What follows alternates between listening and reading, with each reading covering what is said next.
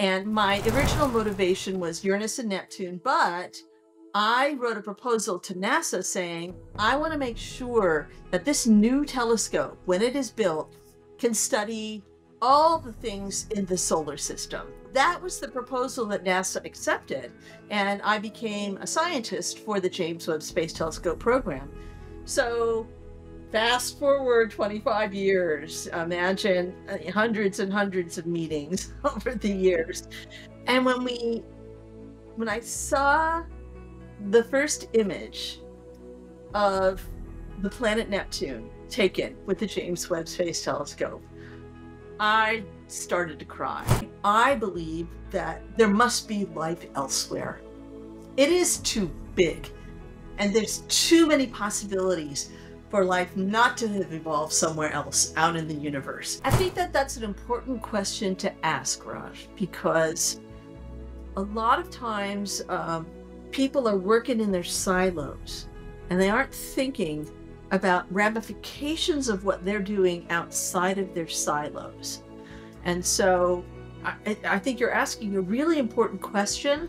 Exciting episode coming on the Seeker's Mind Talks today with Heidi Hammel. She is the interdisciplinary scientist for the James Webb, the most powerful telescope on our planet right now. She's also played crucial roles in the discoveries made by the Hubble telescope, with which we understood much of the universe. She is also the vice president of AURA, the Association of Universities for Research in Astronomy. There's much wisdom, wonderful stories, and experience shared in today's episode. Don't miss it. You're watching Seeker's Mind Talks, the science and spiritual podcast. I want to start with a funny question. Uh, it might not be funny, but uh, is the answer to the question, where are we right now, really, we don't know? What do you mean by where are we? What do you, I don't know what you mean by that question. We say, so let me ask you, where are you right now? Well, right now I'm sitting in my office in Washington, D.C. Yes, but that's relative to Earth. Right. Where is Earth right now? Earth is orbiting the sun. Uh huh. Mm-hmm. So And where the- is? Yeah. So where is it's it's it's the, in the solar system. So where's the solar system right now? Right. So, I mean, I see where you're going with this. You know, Yes. the solar system, our solar system is located in one arm of a galaxy, a large collection of stars that we call the Milky Way galaxy. We're in an insignificant spiral arm called the Sagittarius arm. We're, you know, three quarters of the way out. And that's where we are. Your next question is, well, where's the galaxy located? Well, we're part of a larger cluster of galaxies. Um, and where are those clusters of galaxies located? They're located in the broader universe. And where is the universe located? It is. It's not located in a thing. It just is. It exists. And so we are in it. Um, some people speculate that there could be other universes, but we have no observational proof of that. There's only mathematical descriptions of how that might possibly be. But for all of the telescopes that have ever been built and have ever been used to study the cosmos, we have seen no evidence for these uh, for other universes at this point. We we are in a universe and it exists, and so that's, that's where we are.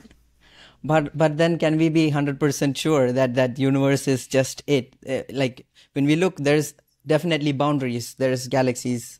There's uh, universe, and extrapolating that, there should be something next, right? It's just that we don't know yet. Or so my question there might be uh, the right answer to the, is the right answer to the question. Where are we right now? We don't know yet. You could you could always put it that way. Um, you know, we're always limited by our knowledge and our ability to answer questions like you're asking.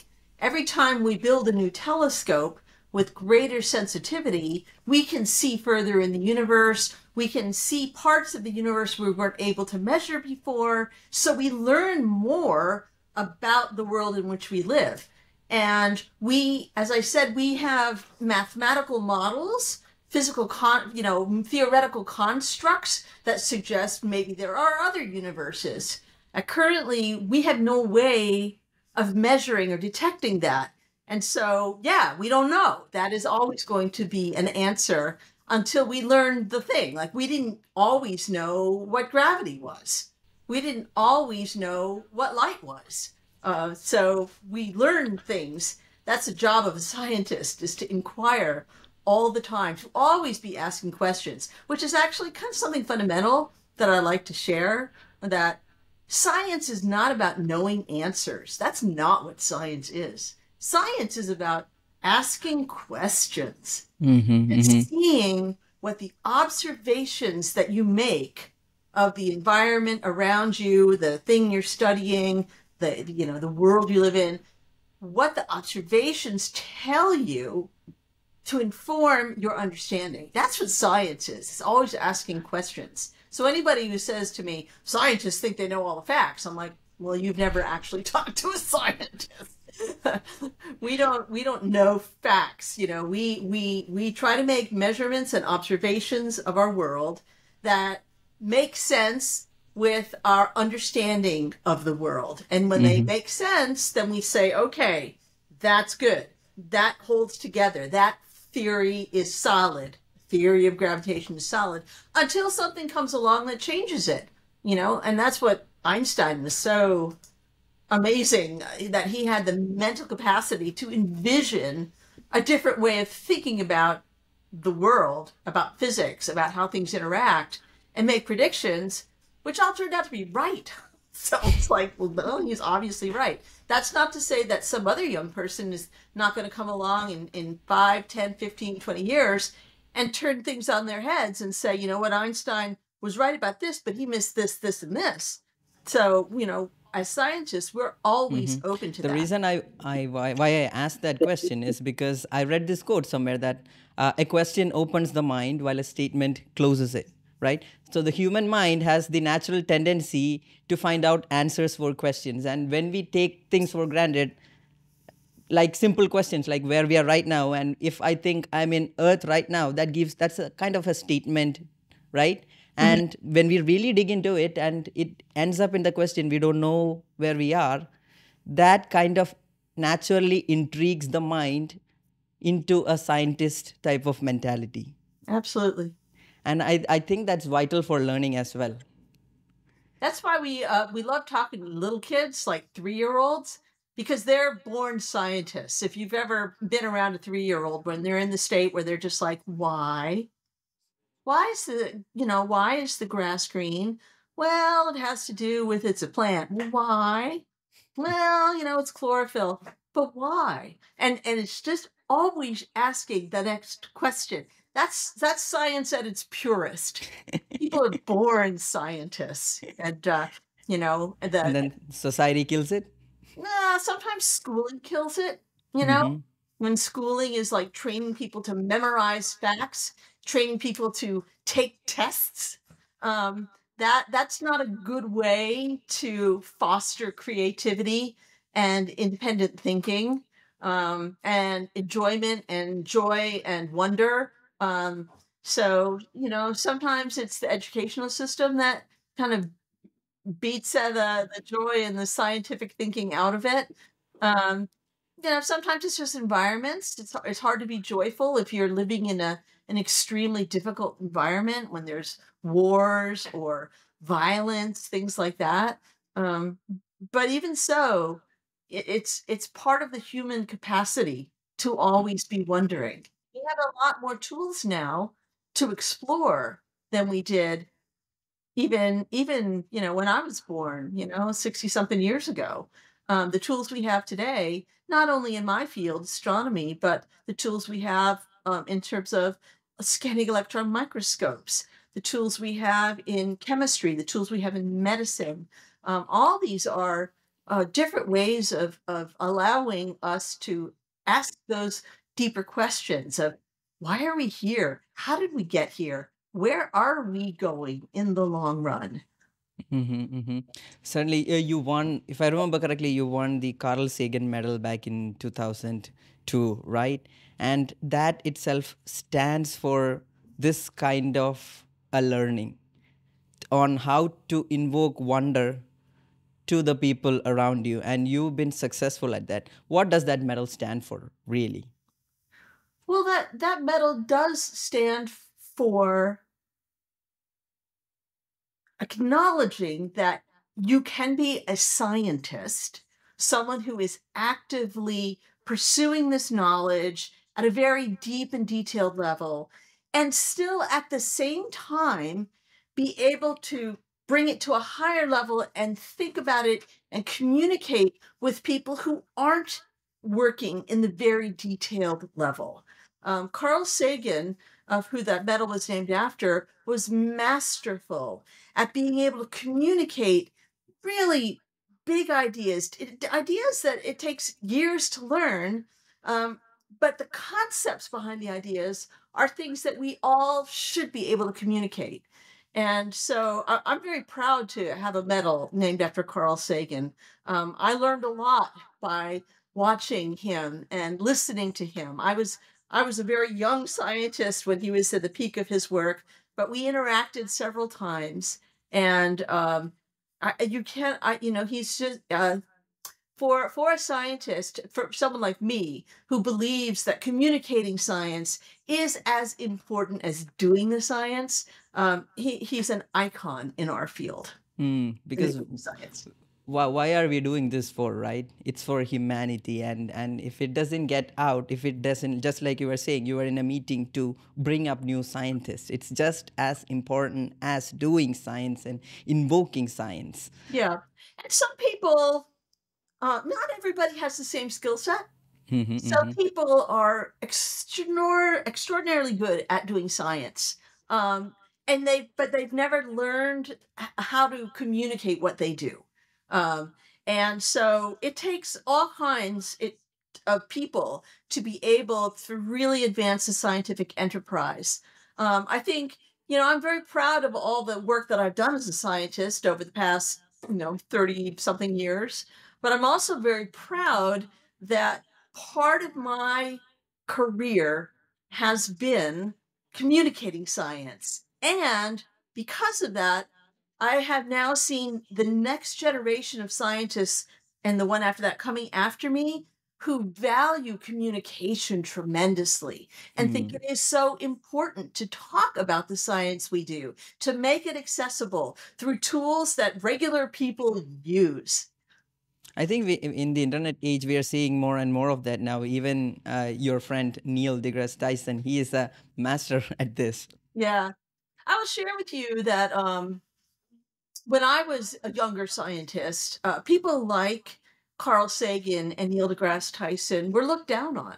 They're like, oh, mm. they're not real scientists. They're communicators, which is not true. Both of them have legitimate scientific um, resumes.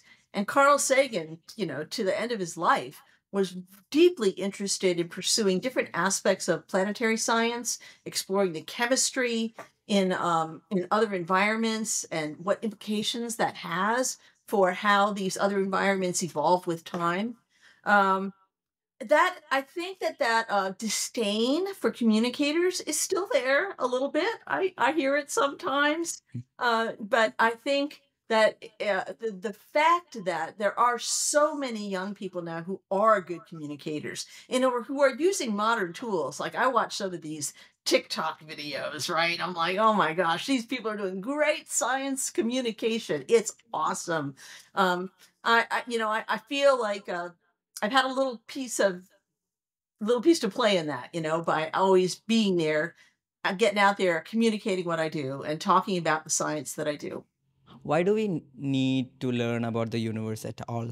I mean, it doesn't give us food, it doesn't stop wars, but why is the need? Well, there's a couple of ways to answer that. While it may not stop wars, um, it does change people's perspective about who they are and what they do. And sometimes uh, having the ability to take a step away from the day to day stuff you're doing and simply experience wonder and joy and awe, that can change people and make them think differently about themselves and others. So that's a philosophical kind of answer.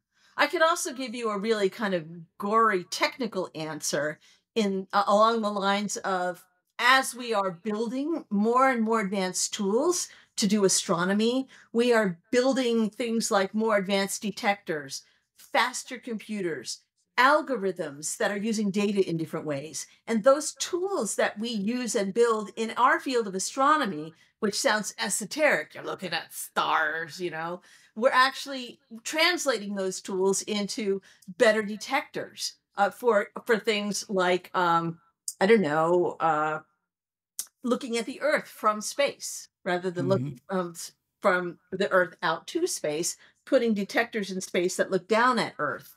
Um, things like um, using algorithms that we use to to automatically process images of galaxies people can use those same kinds of algorithms to look at um, scans uh, of, of the human body in a computer system and using these processing algorithms to analyze that kind of data.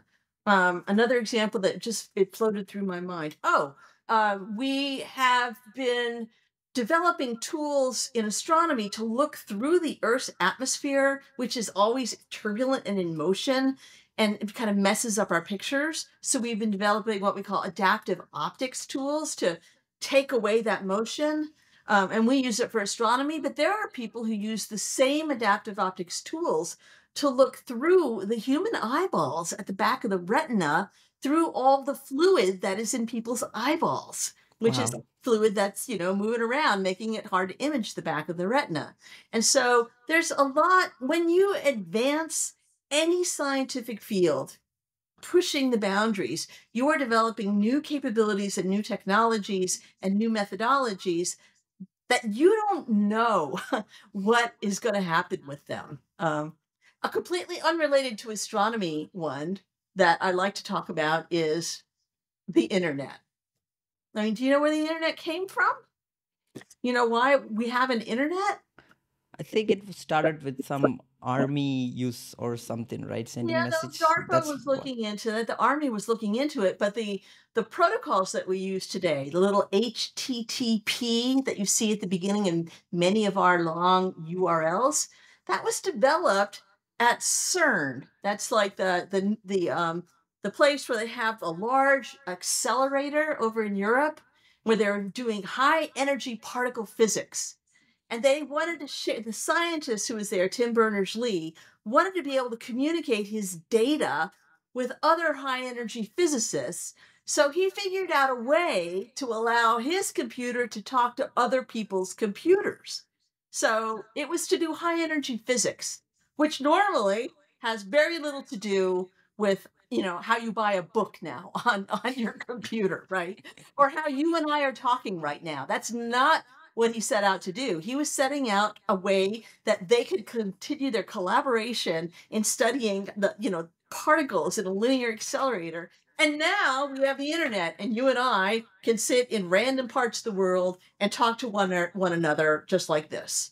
So, yeah, that twofold answer is wonderful. And uh, I was also intrigued by the first part you said about the experience of awe, because just in the last episode, I had a neuroscientist. Uh, her name was Jill Taylor you might know her. Uh, she had a stroke in the left rational brain, which got short circuited for eight years, and she had no left brain for eight years, but she was a brain neuroanatomist from Harvard, and she got the ability to look at the world for eight years without concepts, labels, or anything. And that drastically changed her worldview. And she had the same awe experience for eight years because this this all this she said that she was like in the precipice of everything and she could not identify the boundaries of her body anymore and she was in constant awe and she had to learn language back 8 years. She had to learn every other concept back for 8 years. And that feeling of awe just in the right brain it changed her life drastically and whole wholly. And i think that's we are going when we learn about the universe, we, we're kind of, kind of doing the same thing in a slower way. I think you're right. I mean, one reason we think that all the gorgeous pictures that we get from the Hubble Space Telescope and now the James Webb Space Telescope and other very powerful ground based telescopes, they give us these views of objects that are on scales that are so different than the human scales we live on on a day-to-day basis. And it, to, to even contemplate what you're seeing in one of these pictures um, forces you to take a step away from your day to day and and your environment and, and sort of broaden your mind and open your mind and suddenly realize that there's a vastness out there that's so much larger than what we deal with all the time. Mm-hmm, mm-hmm. Yeah. Certainly that, that that has affected me personally too and me doing this podcast right now and realigning my goals is widening that perspective widening that consciousness of how big of a universe there is and uh, the need to be think more wholly or or in a more um, what's the word i'm looking for? In a word, more comprehensive manner. Mhm. and and and do, do, do you think uh, in a normal population people are far from it Well, I think that many people, when they're given the opportunity to think about these things, they take it. They like it. Um, I give a lot of public lectures, you know, just to regular people, you know, who just want to hear about the newest things we've learned in astronomy. And, um, you know, I'm not going to go into all the detailed equations and science and analysis that we do, because, you know, that that that is all kind of important from a scientific perspective but from a communication perspective and from a an ability to share with other people what we've learned we don't need to go into all the gory detail. Um, it's we need to have it. I mean I, I don't want to just show you a picture and say trust me i know what's in the picture. I mean I, I when i show you a picture of jupiter from the james webb space telescope you can be assured that I and my team members have, you know, taken that thing, that picture apart, sort of pixel by pixel, and and color photon by color photon, trying to understand what it is telling us scientifically. But it makes a beautiful picture that I can share with you and tell you that we've learned that on Jupiter there's a high speed jet of, of, of wind blowing at the equator that we never knew about before because we never had the right sensitivity at the right color of light to pick it up out of all the other swirling atmosphere that was there until we built James Webb Space Telescope. You Mm. know, and there's there's like there's discoveries that are that are in there in just that one image um, that are just uh, you know I, I, you know I just, there's so much to talk about and that's just one image that I know a lot about you know there are dozens of other kinds of fabulous images of galaxies and nebulae and places where stars are being born stars that are dying you know all, all of it it's all happening out there in the universe it's all happening and we don't pay attention to it on a daily basis because we're like driving to work, picking the kids up after school, dropping off our dry cleaning, going to the grocery store so we can make dinner. You know, all, we're doing all the things we do. But in the meantime, there's a world out there that is just doing its thing. Hmm. And and certainly there are rocks out there that can hit us and take us all out as well. Let's talk about the big. How excited were you about the James Webb, and how excited are you even now? Well, it, it's hard for me to convey it in a, a few words. You know, I, I worked on the James Webb Space Telescope program for over 25 years. Um, I started working on that program before it was even a program, but back when it was just an idea that we astronomers had about the next big telescope we wanted to build after Hubble. We started thinking about this even before Hubble was launched. And um, I got involved with it because I had been doing a lot of work studying the planets Uranus and Neptune. I had been using ground, the best ground based telescopes there were 35 years ago, um, which were not good enough to tell us very much. But then we had a spacecraft called the Voyager 2 spacecraft fly by Uranus and Neptune, and we learned so much. And I was thinking, where, how am I going to build on what we've learned? And there were no missions to Uranus and Neptune on the books back then, 35 years ago. There still are no mm. missions to Uranus and Neptune on the books 35 years later, although we've been talking about it for 35 years. You would really want that, right? I, I would love that. But, you know, at the time, you know, 25 years ago, I, I looked around and I said, you know what? This new telescope that's going to be built, it's going to be so powerful that it is going to give us new views of these planets beyond what we have been able to do. Now, it's not like having a spacecraft there, right? I'm always going to advocate for the spacecraft there. However, um, it it fills the gap between mm. when we actually did visit these spacecraft back in 1980 these uh, planets back in 86 and 89 and when we ever do in the future um, i don't mm. know if i'll even be alive then but at least um, you know we will be advancing our knowledge and learning new things. So that's a that's a long way of saying I worked on this telescope for a long time and my original motivation was Uranus and Neptune, but I wrote a proposal to NASA saying I want to make sure that this new telescope when it is built can study all the things in the solar system, not just mm. Uranus and Neptune, but Jupiter and Mars and comets and asteroids and Pluto and other objects out there near Pluto um, and the moons and the rings of these other uh, planets. Um, and so that was the proposal that NASA accepted. And I became a scientist for the James Webb Space Telescope program. So fast forward 25 years, imagine uh, hundreds and hundreds of meetings over the years. and when we when I saw the first image of the planet Neptune taken with the James Webb Space Telescope, I started to cry. I was just like, I was like, can't believe it. After all these years. And, you know, one of the things that was so exciting to me, I mean, I knew it would be a great image, right? I knew that we could see the planet, but what we saw in the image was the ring system of Neptune. And we hadn't, I hadn't, no human had seen that ring system in its entirety since 1989. It had been decades because we didn't have the tools to do it. It's too faint too small for even our biggest telescopes. And then with James Webb, there was the image and the rings of Neptune.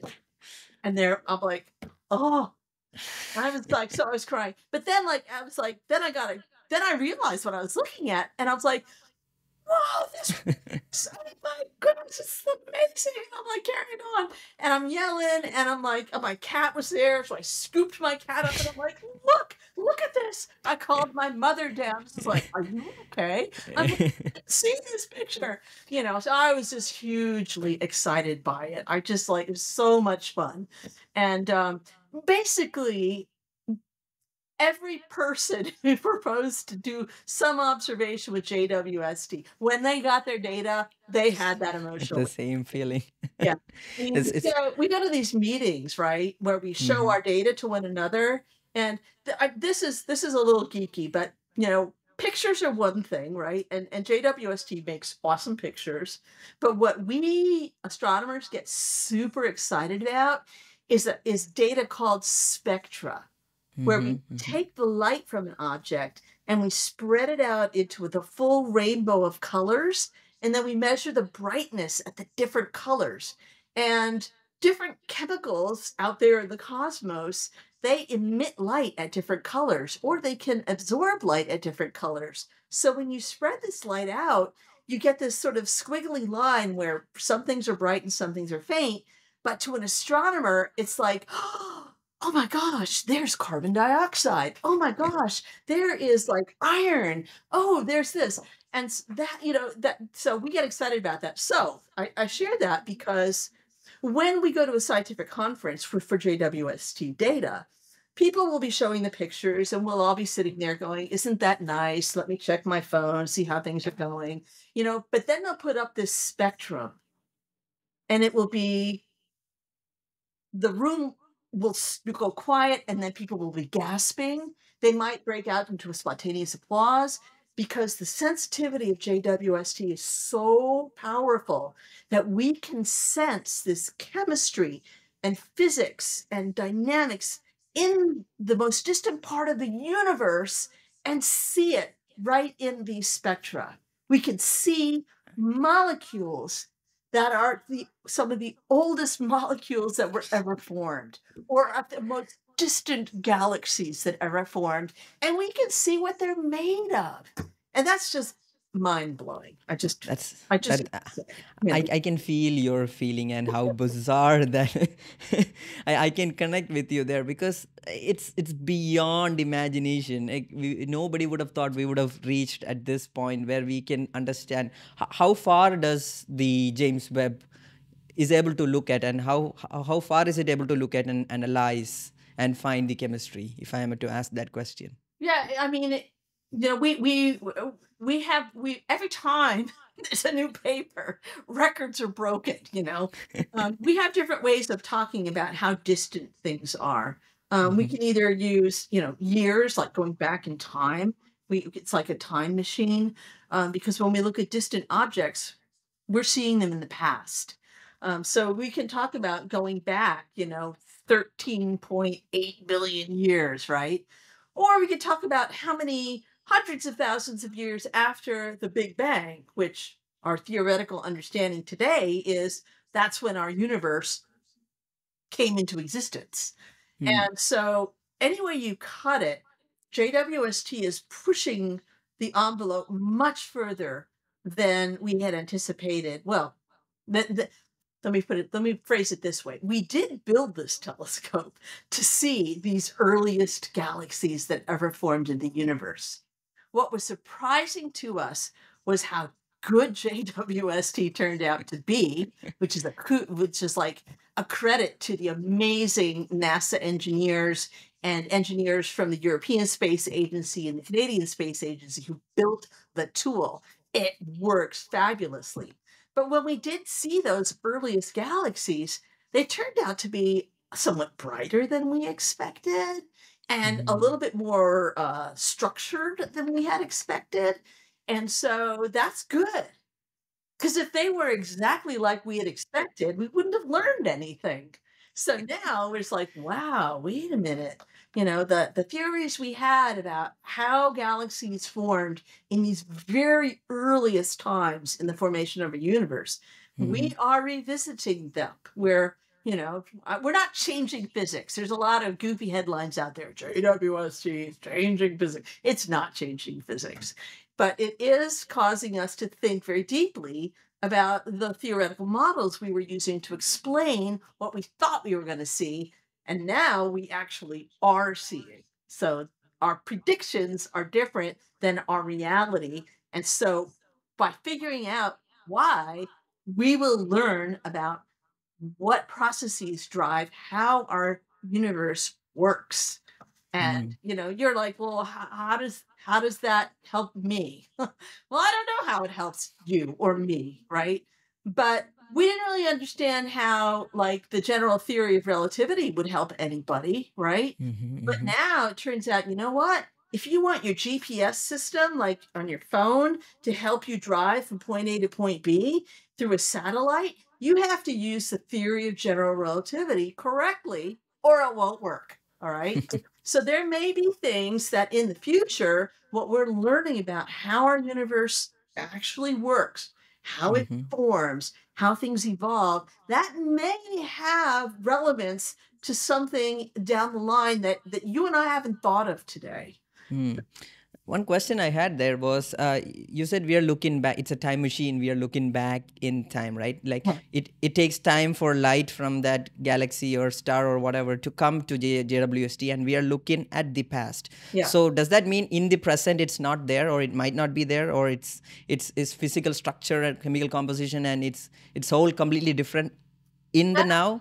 Can we can we define time? What is now? It's yeah, certainly we know by this point everybody knows it's relative but what's really happening there Yeah, well, that's a great question. Um, so if I look at um, a distant galaxy and a supernova explodes in that galaxy, so a star explodes and makes a bright flash of light. Well, if that galaxy is 65 million light years away, it's taken the light from that supernova 65 million years to reach us. And that means if you and I were able to warp space and instantly be at that galaxy, that star wouldn't be there anymore. It would have died 65 million years ago, dispersed it. It would be gone. It would be different. So, yeah, the the things that are out there that we are seeing, uh, they are things that are happening at that time and we are seeing them here now. I mean, most people don't think about this, but in when we those of us who do space work, we think about this all the time. Like when I when I had to work on the Voyager mission that when was doing the Neptune flyby back in 1989, one of my jobs as a young scientist, my job was to be at the telescope on Earth taking images of Neptune while Voyager was literally flying past Neptune. And then we were going to combine the data. But it takes the light from Neptune over four hours to reach us. And so the images that I got were always four hours behind the images that were coming from Voyager. And so we have to take that into account in astronomy in a very real way. Um, and then, you know, that's four hours. That's that's time scales that we can kind of understand, you know. But um, when you start talking about, you know, millions of years and billions of years, we're getting to numbers that are like not numbers that humans normally deal with. And so Mm. it's a little harder for people to get their head around that. How, how bizarre is that concept of time for you guys then?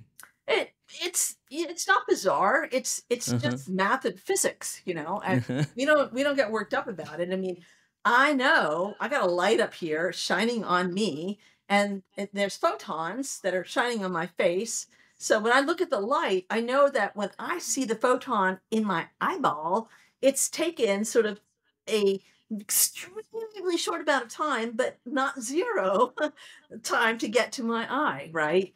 Um, you know, but if if the, if my light were on the moon, you know, it would take much longer. And if this light were Mm. on Neptune, it would take four hours. If this light were on uh, the nearest star to us, Proxima Centauri, it would take four years. That's where the word light years comes from. Light years is not time; it's a distance, right? So, does that make sense? I mean, we yes, yes. it. It's math, right? I can do the math. I got the math. It's no problem. uh, I, I really want to do a whole episode about time somewhere in the future because it, it, it, it keeps me up at night, frankly speaking. Uh, like, what's the most intriguing discovery that JWST has made till now, or that in your view is the most significant or has altered your consciousness? Well, I, you know, I have so many different ways of answering that question because there's so much incredible knowledge come from JWST. I think, you know, we the purpose of this telescope was really to study those earliest galaxies. And the Mhm. fact that when we did see them, they were not what we expected, that's huge. As I, you know, because that means we're going to learn a lot about how our galaxy, I'm sorry, how our universe actually came to be. So I would say, like, sort of on the grand scale of things, right now, today, that's like the number one most uh, important result we've had. We've also um, another result that is kind of it's it's a it's a non-result, but it's making us scratch our heads. We are using this telescope, James Webb Space Telescope, to look at the atmospheres of planets around other stars. And we Hmm. were particularly interested in trying to look at the atmospheres of rocky planets, planets that are like the size of our Earth, to see if they have atmospheres like the Earth. And so there's one system that that um, the science that JWST has been studying very closely called the TRAPPIST-1 system. It has Mhm. seven Earth-sized planets in that system going around this small reddish star.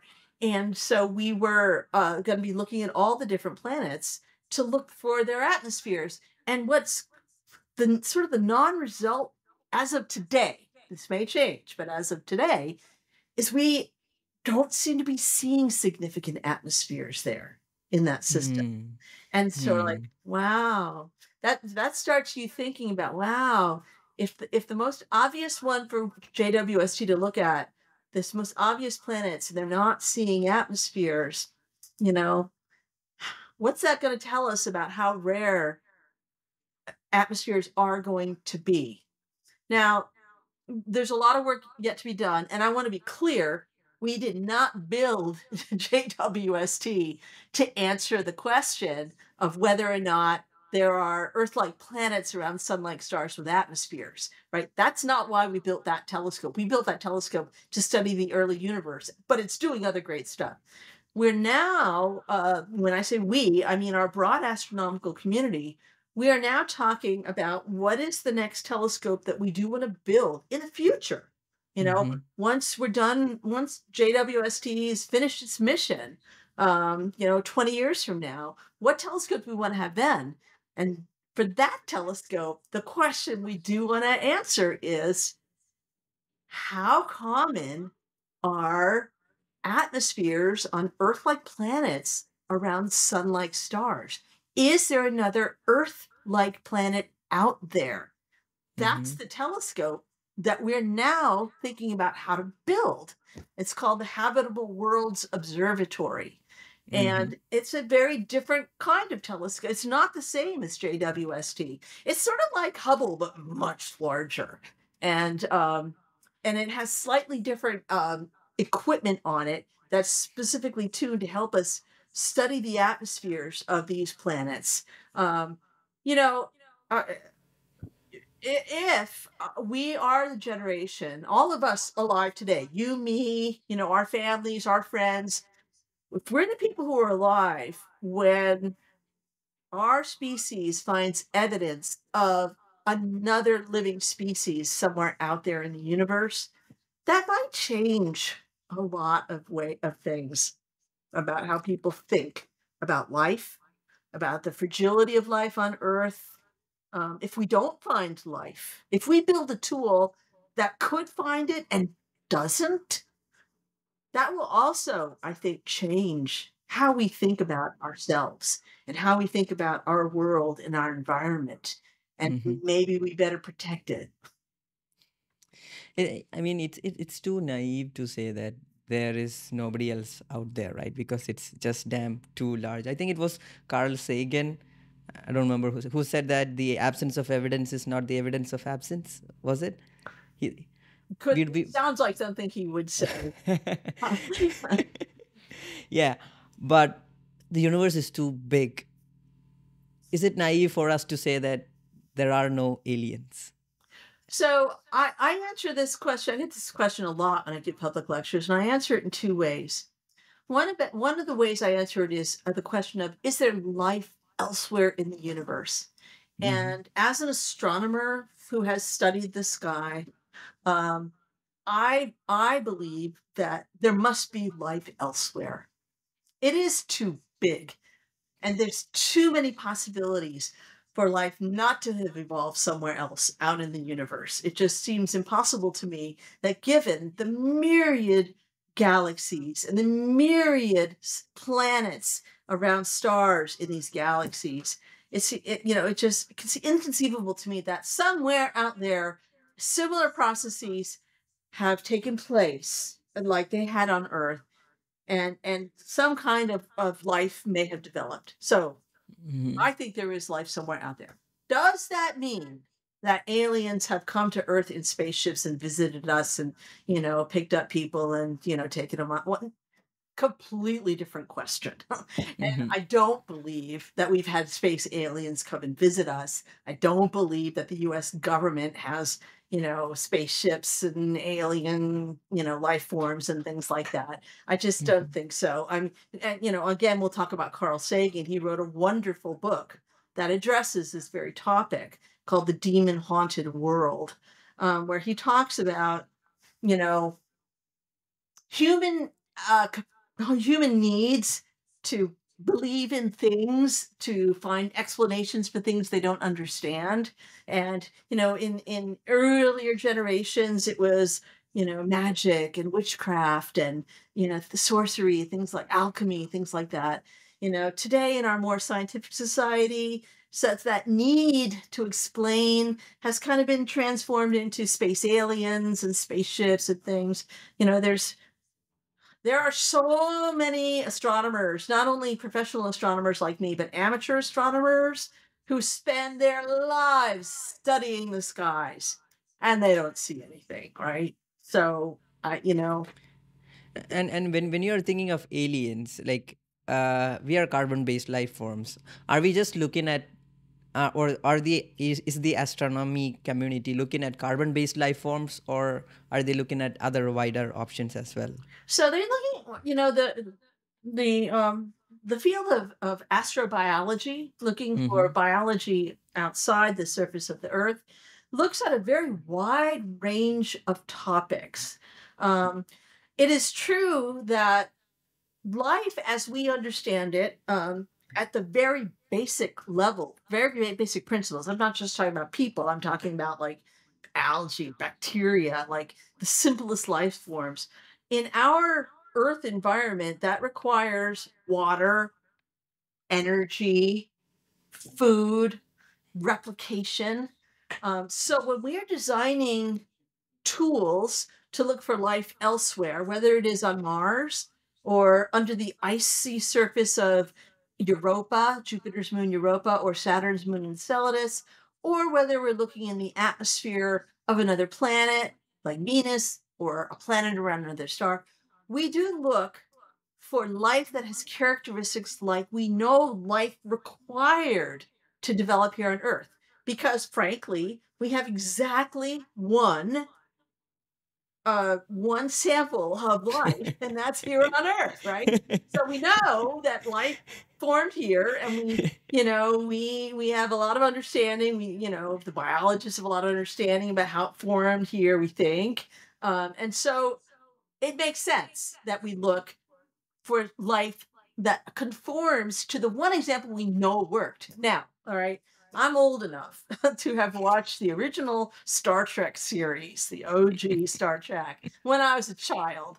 And, you know, the, the episode with the Horta, I don't know if you know Star Trek well enough. There was an Mm. episode where there were these miners who were mysteriously dying on this world. And when the Enterprise came and they were, you know, discovering, like, you know, what's going on here, they were mining these spheres. And there was this, it turned out that there was a silicon based life form on that world, and the spheres that the miners were mining, which they just thought were like rocks or something, they were the eggs of the Horta, the silicon based life form. And the only way they could find out was that Mr. Spock did a mind meld with the Horta, with the thing that looked like rock. But he discovered through his mind meld that it was an intelligent creature that was different from us. Now, here's the problem. That's great. Maybe we should be looking for silicon based life forms, but we don't have a Mr. Spock who's going to do a mind meld. How do Mm. we know that it's life? We, we can't. We can't, we can't look at a rock and say, oh, that's that's a lot, that's an intelligent rock, right? So, in some sense, we do have limitations on what we're going to call life elsewhere. Let me go on a completely orthogonal track for a moment, though, and tell you about a different way that people have been talking about looking for evidence that other civilizations have existed. And it's kind of a sad story hmm. because imagine, if you will, a civilization where has become very technical like we are on earth right now and developed all kinds of machines that put um, all kinds of weird chemicals into that planet's atmosphere things like uh, chlorofluorocarbons um, you know weird mixtures of fluorine and stuff that you know are industrial byproducts um, radioactive elements maybe the radioactive power things like that. And they polluted their atmosphere with things that could never form naturally. They had to be created by some industrial process. Mm. There are people that suggest what we, what we really should be looking for in these atmospheres is evidence of this pollution that could only Mm. have been formed by a technical society that was essentially polluting its own atmosphere, kind of like we're doing here on Earth.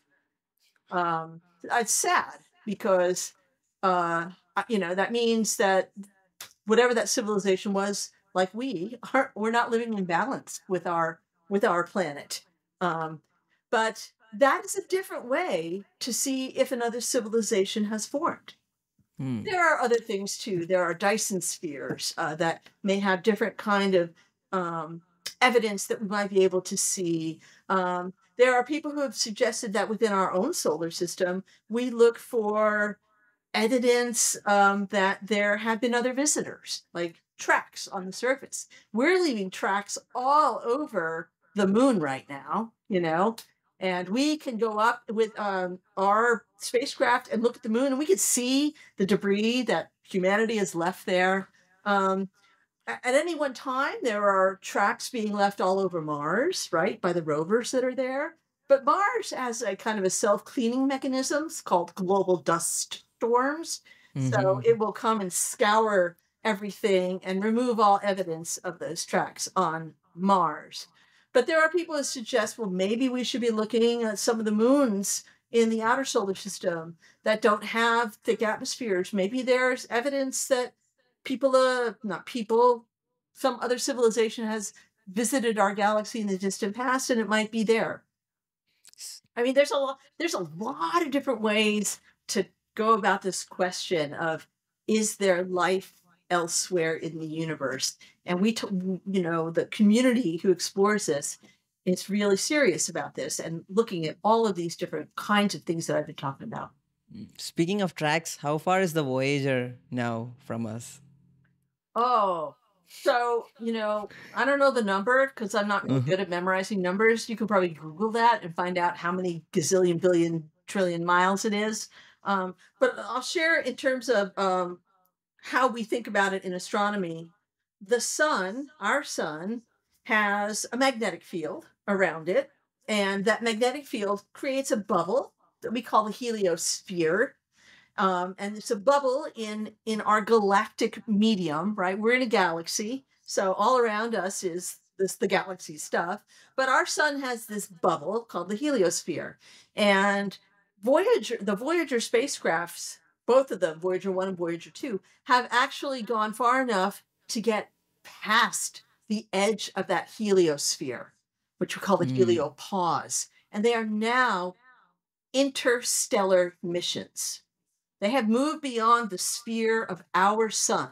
They are outside of our solar system now by this definition, the where our sun controls the neighborhood, so to speak. So they have moved out and are now interstellar spacecraft. Mm. To me, that's the most most bizarre thing that we are, we have done, right? Because that's so so so far from our reach, Yeah. and just thinking that the probability that someday somebody might pick it up, that very thought, Yeah. you know, I, I was I was researching yesterday, and I saw that it has everything needed to locate us and all our history and everything written in it, and and that's that's something really interesting to think about. Yeah. Yeah, it doesn't have everything, but it has enough that if people are that if the if whoever finds that, call them people because that's shorthand, but you know, if the if the species that find it are sufficiently clever, they would be able to decode what's on the golden record on the outside of the Voyager spacecraft, and uh, there there are indeed um, directions, so to speak, on where where the where we're located relative to some key things in our galaxy. So Mhm, Yeah. mhm. Yeah, the next question might be silly, but I wanted to ask anyway. Uh, if you look at atoms, everything is either spinning or rotating. If we look at the Earth, it's spinning and rotating. If we look at the galaxy, it's spinning and rotating. Why is our reality so much with all this spinning and rotation? well, that's just the way of the world, man. Everything moves, everything changes, everything is dynamic, right? Um, so But you, you don't see planets going in squares, right? No, I mean because uh, I think gravity works in a radial fashion. So if you have the sun here, you know the sun's gravity is always going away from it in a circular way, and um, a lot of these forces work the same way.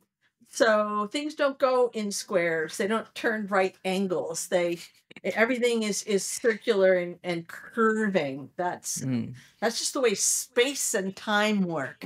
You know, space time it works that way. Right. Yeah, what got me interested was that even atoms do the same thing. Not not just because there there is no gravity there, right? Eh, On an Sure, atomic they're scale. but they're working on, on other forces, strong forces and weak forces that that hmm interact with the components. Even the quarks, you know, inside inside the protons, what the quarks are made of, you know. But you're getting pretty far afield from what I know here. And I learned that no, I just wanted to dance with that question. I, I, I feel that like we need more of this interdisciplinary studies because uh, this book of I believe this there is this book you know definitely it's the uh, the structure of scientific revolution by Thomas Kuhn. Mhm.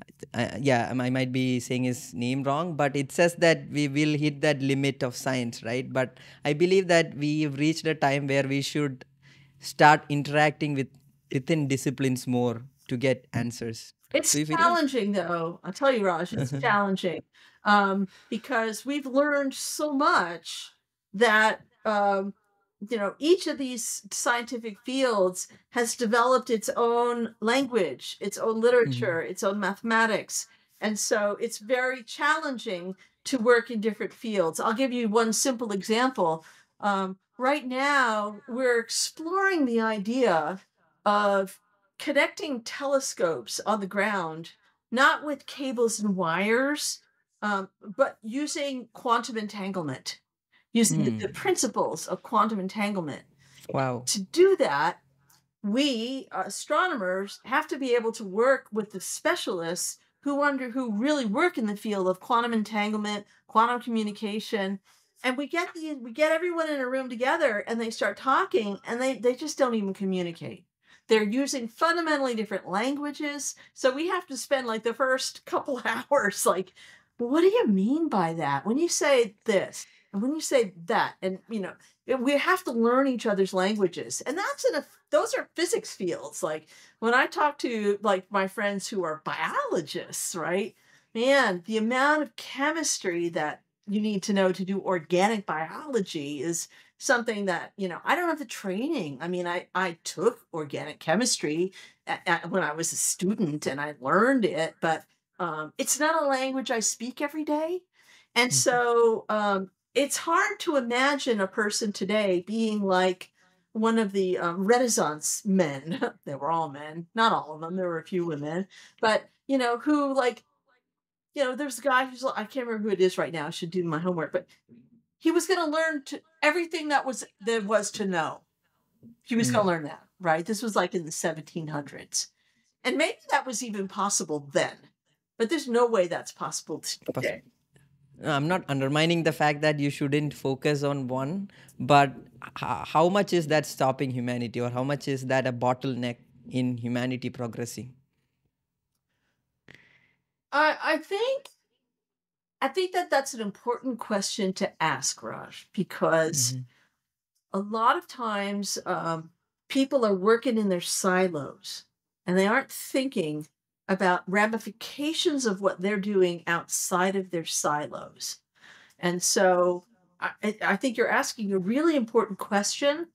And I think that the way we can work on addressing this is trying to teach scientists as part of their scientific training to also be good communicators so they can communicate with each other, with other scientists outside their field, with the public, with policymakers who run our countries, who make laws about things.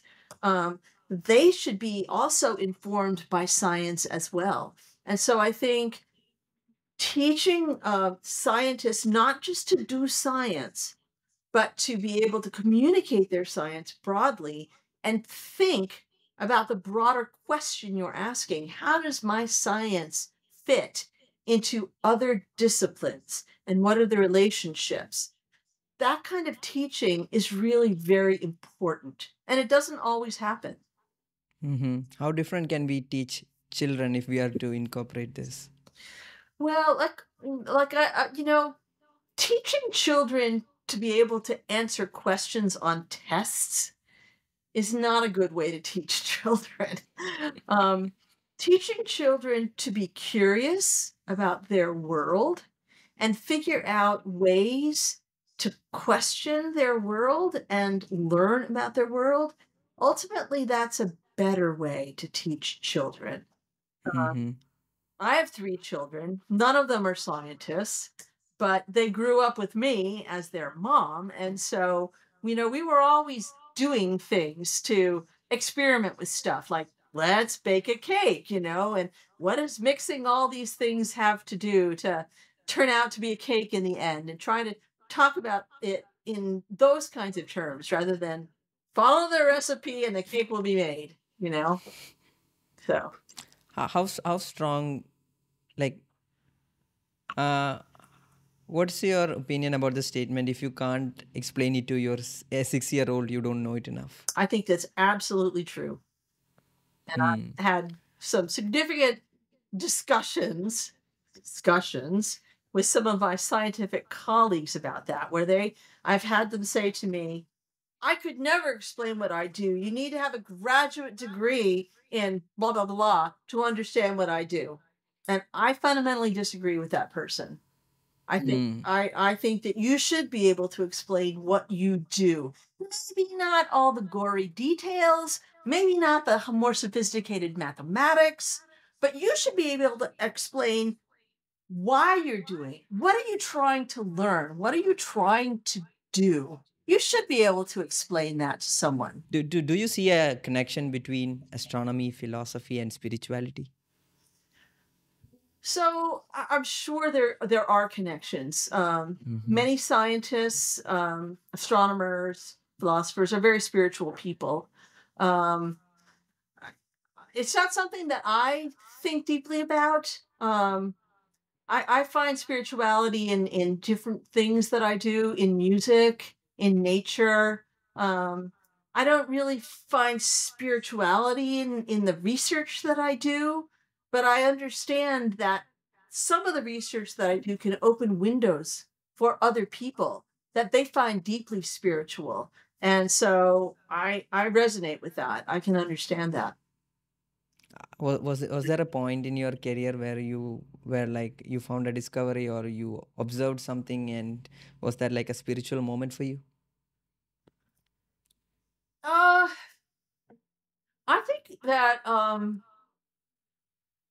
when I have made discoveries where I knew that I was the only person, the only human who had ever learned something or seen something or uh, found something, I, I, I, didn't react spiritually to that. I reacted more with joy and excitement, which is perhaps a, a manifestation of spirituality.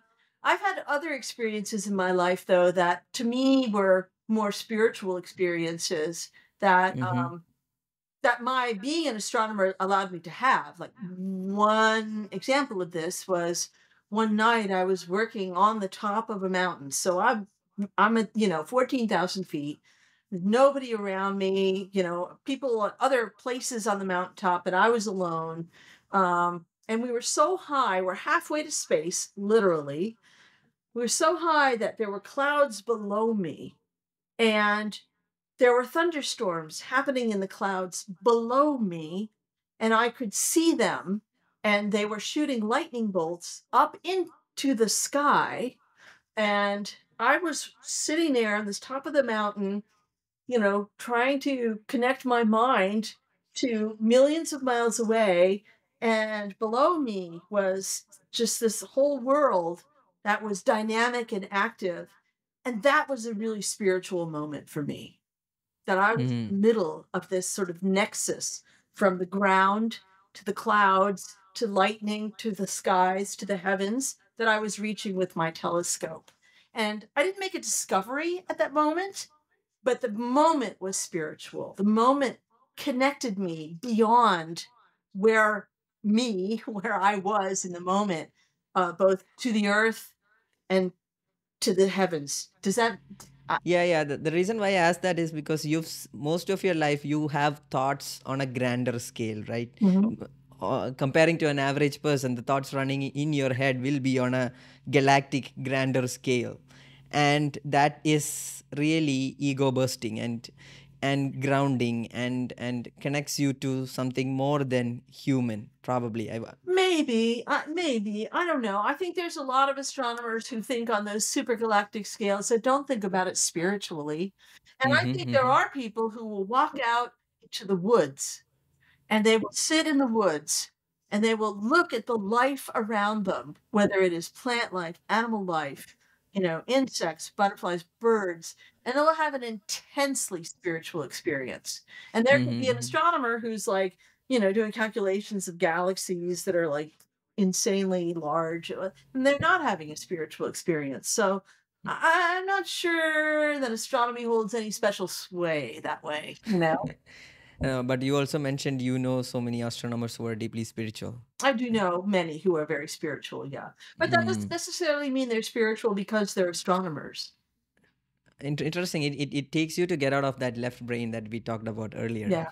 I mean, one thing, I mean, I will say one thing scientists Mhm. can be very spiritual because they are asking questions all the time. That's that's our job as scientists is to ask questions. And many of us are asking questions about the physical world around us.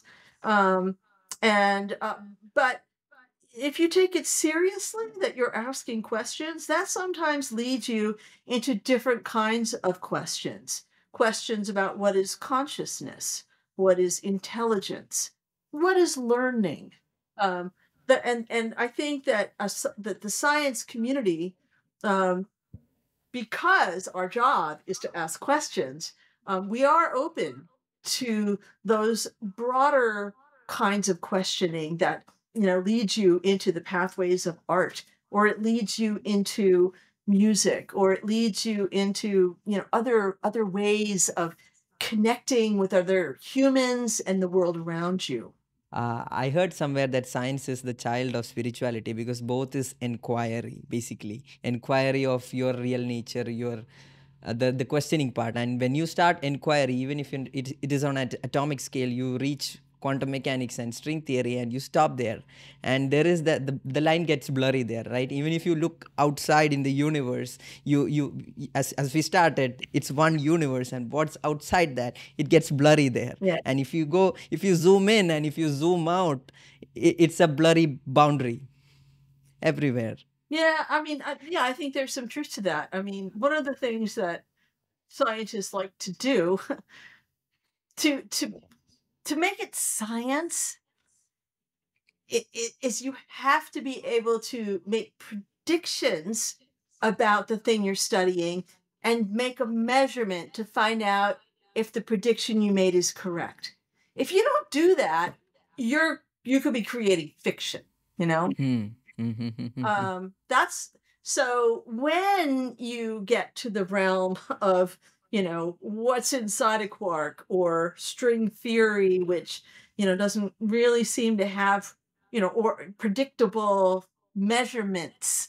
Um you know it it kind of veers out of science at that point. That's what what you said becomes blurry or fuzzy because if there's no way to measure it or prove it's right or wrong then there's no way for us as scientists to be able to say it, it, it does it make sense. Is it logical? Does it does it hold together? And Mhm. you know one of the things that um one of the things that i think about a lot as a scientist is how little we actually know especially those of us like me who were trained in the western tradition of science. Um, I think that there are many other cultures who have experienced the world in different ways than we do in our sort of our Western culture, and who may have knowledge that um, that we don't fully understand yet, um, but probably will someday. We will. And let me give you an example of that.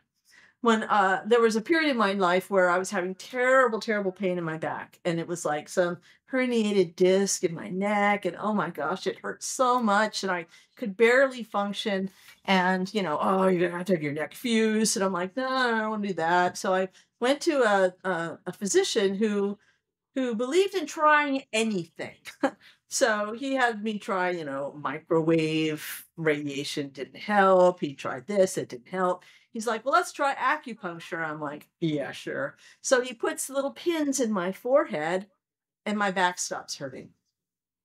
Hmm. Now, I have no way in my classically Western training, you know, I'm not a biologist, but even if I were trained in a classical Western way, that putting pins, little needles in my forehead would stop my back from hurting.